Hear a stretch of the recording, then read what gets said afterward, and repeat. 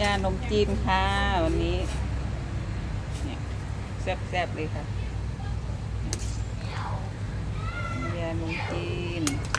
วันนี้เราทำน้ำยานมจีนแล้วก็เราทำเออแจงหน่อไม้ค่ะ แล้วก็ส้มตำเมนูวันนี้ค่ะ โอเค เดี๋ยวเราค่อยดูกันแจงหน่อไม้กันต่อค่ะ เห็ดลงไปค่ะ แจ้งหน่อไม้ค่ะ วันนี้แจ้งหน่อไม้อีกค่ะ นี่มีตะไคร้มีเห็ด แล้วก็มีบวบ อันนี้คือผักคือยังไม่ยังไม่ใส่ไปตอนนี้ยังไม่ต้องเอาเห็ดลงไปก่อนบวบแกงบ้านๆค่ะ สูตรคุณยายเองค่ะ สูตรคุณยายเองค่ะ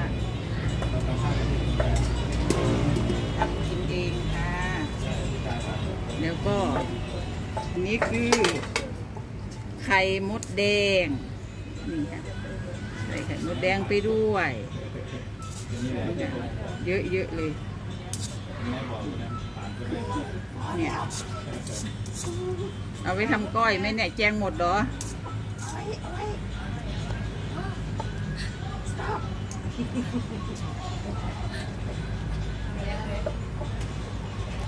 รือจะเอาอีกไหม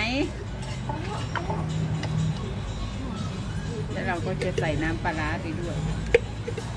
ทำไม่หลุดเอาแล้วนะ ใส่ปลาร้าลงไปจ้าเรียกหน่อไม้สูตรคุณยายเองค่ะ ใส่ปลาร้านัวนัว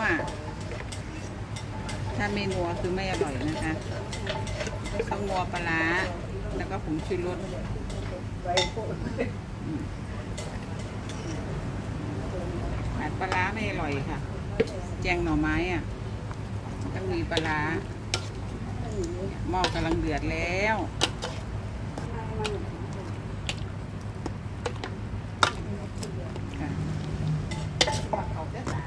ถ้าเดือดหม้อเดือดขึ้นมา เราค่อยใส่ผักลงไปเนี่ยไข่มดแดงแล้วก็เห็ด เห็ดบดค่ะ เห็ดบด เรียกถึงกันไหมบ้านคุณยายเรียกเห็ดบวบวบ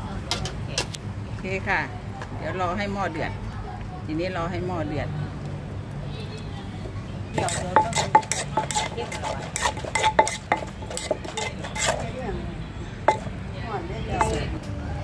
หม้อเดือดแล้วเราจะใส่ผักแล้วค่ะ นี่ผักหวาน หวานค่ะ แล้วก็ผักกระเยงใบเมงลักผักลงไปเยอะๆเลยค่ะ ใส่ผักเยอะก็อร่อยแจงหน่อไม้อะหวานไข่มดแดงแล้วก็ใบแมงลักผักกระเยงผักคุณตูค่ะผักคุณตู เรียกเรียกคำสุภาพจ้ะอืมหม้อเดือดแล้วได้ที่แล้วแกงหน่อไม้ค่ะแกงแบบหวานๆเลยค่ะวันนี้เติมลงไป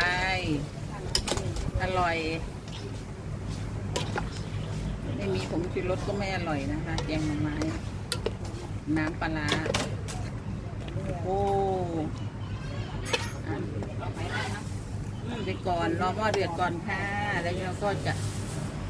ให้ดูชิมตอนสุดท้ายพริกค่ะพริกลงไปขาดไม่ได้พริกนี่เราก็จะใส่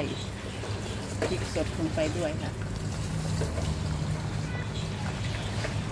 แซ่บ แซ่บแต่รสชาติแบบนี้จะแซ่บ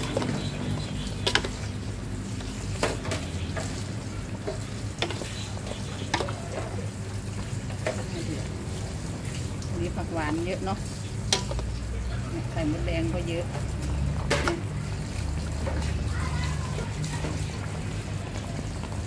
ชิมก่อนอืม่อยมาก โอเคค่ะ เสร็จแล้ว เสิร์ฟได้จะเสิร์ฟได้ โอเค เจอกันคลิปหน้าค่ะ คุณยายกับหลานค่ะ กดไลค์กดแชร์ด้วยจ้า โอเค บ๊ายบาย